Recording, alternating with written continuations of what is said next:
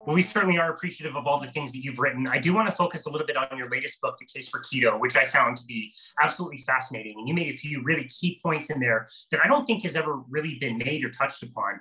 And I know you've talked about the subject so much. Um, and I would love to talk about some of the points that I came across in the book that I thought were super fascinating. The first one really is how you addressed the audience in the case for keto. And you use specifically the phrase, those of us who fatten easily. And I'm curious, like, why did you decide to make that distinction and write the book for that population of people? And who does that include? Um, well, when you think about it, and I've done nothing but think about it for 20 years now, the um, conventional dietary therapy for the past hundred years is basically derived from the way that lean people eat and exercise. So if you're lean and you maintain a healthy weight relatively easily, uh, you assume that everyone could do the same if they did exactly what you did. So what you end up with, and what's happened in this country, well, in the world, is that we've ended up. Uh, lean people tend to assume that it's relatively easy to stay lean it is for them. And they assume they eat in moderation and exercise in moderation. And if everybody ate in moderation, everybody would remain lean. So we get this weight loss, sort of the idea of uh, um, Michael Pollan encapsulated in his mantra, you know, eat food, uh, not too much, mostly plants. The not too much means if we just eat not too much, we will remain lean. And what people never realized. I mean, some obesity researchers did uh, a hundred years ago, and then this was kind of lost in the history of the field. Is that people who gain weight, those of us who fatten easily, and those of us who don't, might be sort of different types of people. So if you know those of us who fatten easily try to eat like lean people do, but it fails I mean, some of us, you know, there are people out there who have never tried to uh, hold back their appetites, who have never tried to eat less or go the day avoiding snacks and treats and skipping desserts. I mean, I'm assuming there are people out there who just eat whatever they want. But for the most part, you know, everyone tries to eat less if they're gaining weight. It's a kind of a natural phenomenon. You start gaining weight, you try to fight it. But it for those of us who fatten easily, it fails, and we have to eat differently than lean people. So this idea is we've been getting lean people diet advice, which works for them but doesn't work for us. Um, virtually all of the diet advice we get, even in the, the huge epidemiologic studies where they determine what healthy people eat. So they look at people who are lean and healthy, and then they follow them for 20 years, say this is like the nurses' health study at Harvard, which is the most famous. And after 20 years, you, you look and see who's remained lean and healthy, and you look at what those people eat compared to the people who have gained weight. And you find that the people who remained lean and healthy tend to eat fruits, vegetables, and whole grains and not too much of it and legumes and all the other diet advice you've been given. And that's what you tell everyone to do, assuming that if the people who gained weight did that, they would have remained lean also. And then the argument is that's not the case. The problem is, you know, some of us just put on fat easily, the way some breeds of animals fatten easily and some species of animals fatten easily. A, a metaphor I like is you can imagine the world is you know there are there are greyhounds and there are basset hounds or mastiffs. And the greyhounds go around thinking if they could just get the basset hounds to run around a track like they do the basset hounds would look like greyhounds. And they don't. When you end up if you run a basset hound around a track a few times you don't end up with a greyhound you end up with an emaciated exhausted basset hound. You know it's like our predisposition to gain weight or not tells us what we have to eat if we want to fight it. And then it, you know, comes down ultimately, if I'm right, to carbohydrates and the carbohydrate content of the diet. Yeah, interesting. You, I mean, you do such a great point um, talking about these studies that are done, and what you're talking about that you know that studies when you ask people what they eat, you start to make assumptions based on you know a food frequency questionnaire, which right off the bat they're, they're so horrible. If you've ever seen one, it's like check how many times you have eaten either a full apple or half a can of apples you know, once a week, you know, once a day, twice a day. Like it's absolutely ridiculous. And then to make conclusions from that, you, you just absolutely can't do that. It's not possible, right? Well, that's true. But even if they could, this is what the epidemiologists don't like people like me to say, even if they could, they would have this is when you hear this argument association is not causality or association does not imply causality or the people who really don't understand this will say association does not necessarily imply causality it just never does. So here's an example imagine you were studying again physical activity is easy to imagine you could imagine that people who are dying of cancer are completely inactive right? They're bedridden so you can measure it perfectly these people don't move the people who are not dying of cancer or walking around exercising, but there's the, there's no causality there. It's not like the people are healthy because they're exercising and the people are dying of cancer or lying in bed because they're not exercising. You know, it's sort of you never know what's cause and what's effect and what else that you're not looking at might be influencing what's cause and what's effect. So even if you could measure our diets perfectly, you don't actually get causal information from that data. You only what you learn is what healthy people eat, not why they're healthy. And you learn what unhealthy people eat. So even back, you go back to the 1980s, um, there were studies showing that people who tended to be, you know, suffer from obesity or overweight, at least reported that they ate less sugar than people who were lean. Well, if you're lean, you can drink a Coca Cola, right? Nobody, first of all, nobody criticizes you for drinking a Coca Cola if you're lean. And second of all, if the Coca Cola isn't making you fat, then why not drink it? They happen to be delicious. If you're overweight or obese or you're struggling with your weight, then you know you shouldn't be drinking Coke. You should be drinking it nothing else, Diet Coke. So you've got what's called reverse causality. Because you're gaining weight, that's changed what you consume in such a way that you're trying to stop it. But when you do these studies, you don't see any of that. All you see is that back then it was lean people consume more sugar than people who struggle with their weight, or at least they report consuming more sugar. It's possible that people who struggle with their weight don't want to admit that they're having dessert and drinking three Coca Colas a day because they kind of think that people will judge them based on that. If you're lean, you never get judged on what you're eating right? So you're also going to report what you eat differently because you're not worried about people, you know, uh, making assumptions about your willpower or your character. So these studies, sort of on a very profound level, can't do what the nutrition research community has been trying to make them do. And they're kind yeah. of aware of that, but simultaneously, they also know that if they acknowledge it fully, then they put themselves out of business and render meaningless their entire careers. And most of us aren't capable of acting in that way. Yeah, no, it's such an important point, and it's important for people to understand that because that's not what shows up on the headline. Like you want to dig through a study, you'll you'll find that stuff and you'll learn this stuff eventually. But it's it's that headline that just grabs people attention and, and says that red meat is bad for you or causes cancer or you know, all the different claims we hear. You know, every few months it seems like a new headline pops up.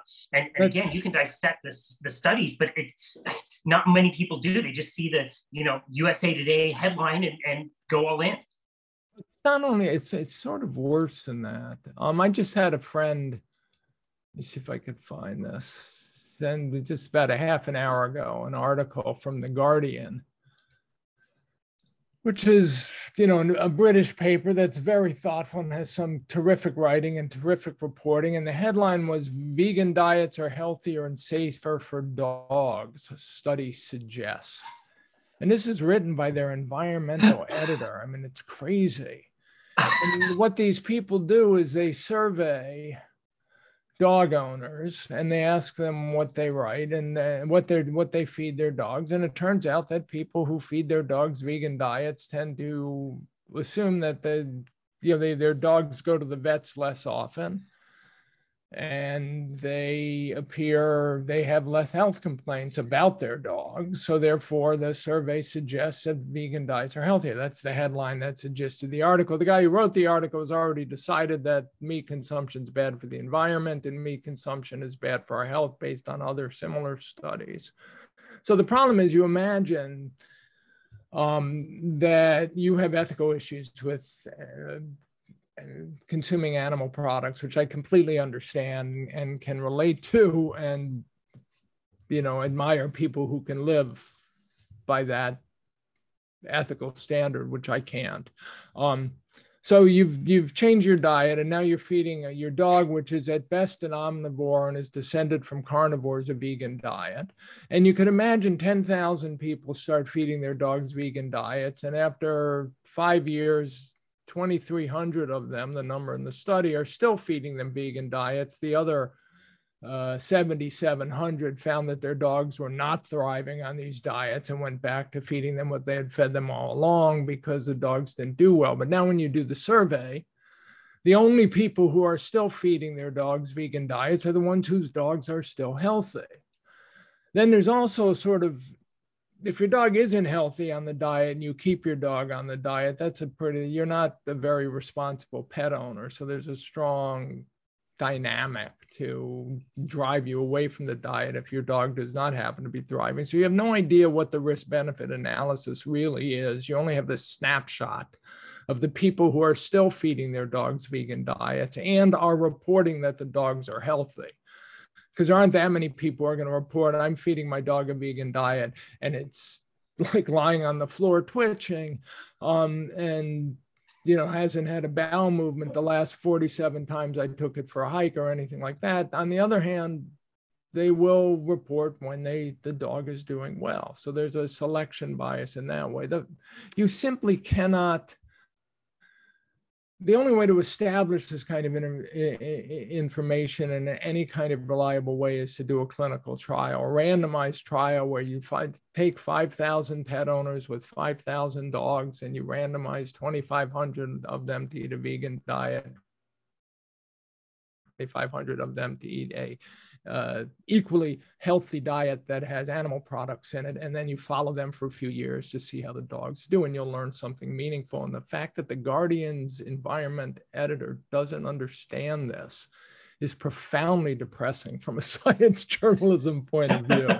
I mean, wow. I'm stunned that somebody who's gotten to the point of being like an editor at the Guardian would write up data like this, and yet it gets published. So the counter argument is who's Taubes? What is why should we believe him? The PLOS, which is a relatively respected, well-respected journal, published this article. Therefore, they must know better than I do. It's a crazy world. Wow, it really is. That's insane. I mean, you talk about in your book, you know, all these nutritional authorities and how they failed us over the years. And, and one of those ways that we talk about that they have failed us is the, the equation that most of us know, which is calories in, calories out. I see it every time I pass a Coca-Cola vending machine. Um, we've already mentioned them a few times, so hopefully they can monetize our podcast. Maybe they'll be a sponsor. That'd be great. Uh, but the, every time you pass the vending machines, it says balance what you eat, drink, and do. And we talk about the calories in, calories out equation as a great way to lose weight. So people need to exercise, you know, 250 calories more a day. They need to eat 250 calories less every single day. That's 500 calories difference. If you did that for seven days, that's 3,500 calories, which equals one pound. So you just do that until, you know, you have weeks that, that, you know that have run out because you've lost all the pounds you needed to lose. And you make an excellent point in your book about the difference you know, if we're looking at that equation, uh, the difference over the course of 10, 20 years, if somebody is over consuming their you know their energy expenditure by just 20 calories. Can you explain the point that you were trying to make when you're talking about such a teeny tiny amount of calories? If that balances off how somebody can become obese?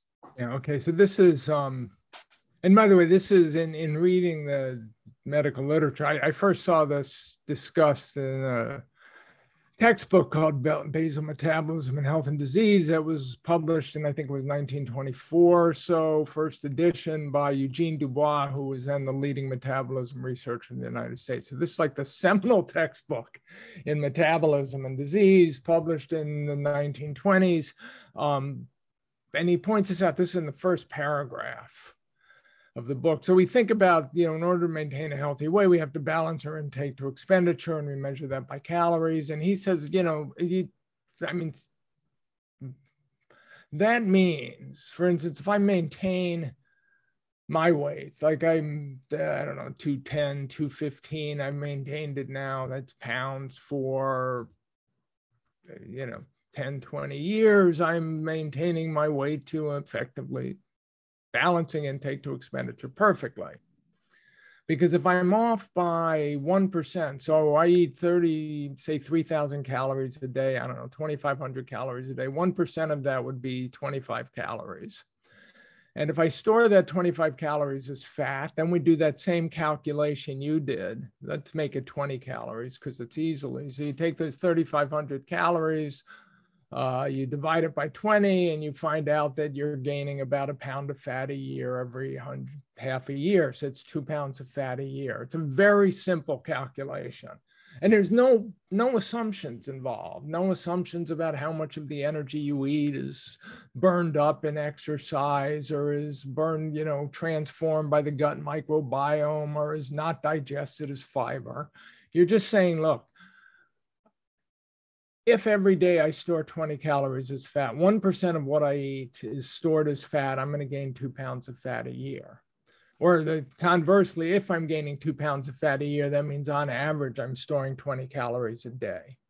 So the chapter on why we get fat, my second book, I, there was a chapter called 20 calories a day. Um, if you store 20 calories a day for 10 years, that's 20 pounds, right? If you do that for 20 years, that's 40 pounds. So you're, you're overshooting by 1%. Now, we don't actually have technology that could measure energy balance by 1%. They didn't in 1924, which is the point Dubois was making, that you needed to accurately match intake to expenditure better than any technology that existed then. And the technology hasn't really gotten any better in that way. It's just a very hard measurement to make. And yet, we're supposed to be able to pull this off. And when people talk about theories of obesity and the, the conventional wisdom is the reason we get fat is because the food environment um, dysregulates our ability and our brain to match intake to expenditure to sort of trigger the necessary compensatory effects in our body so that if we eat more we expend more and if we expend more we um, the idea that that can do it to perfect accuracy is sort of insane. So you go back to the 1920s, 1930s, when some very smart researchers were writing about this, they were saying, look, the question isn't why do some people get fat in this food environment? Because we all eat more food than we probably are programmed to eat. That's all of you know the whole artistry of cooking is about making the food taste better than it would if you just you know killed deer and didn't even have the opportunity to burn it. And then on top of that, you've got cocktails and beer and desserts and snacks and all these other things. So all of us are clearly getting more food than we might eat otherwise. Why is it only some of us get fat and some don't? How do the ones who stay lean stay lean if they're the way the job is supposedly done by this matching of intake to expenditure? So that's the kind of way, just asking those questions and in the case for keto, I talk about this. I mean, it's just these are not the kinds of questions that obesity researchers ever ask.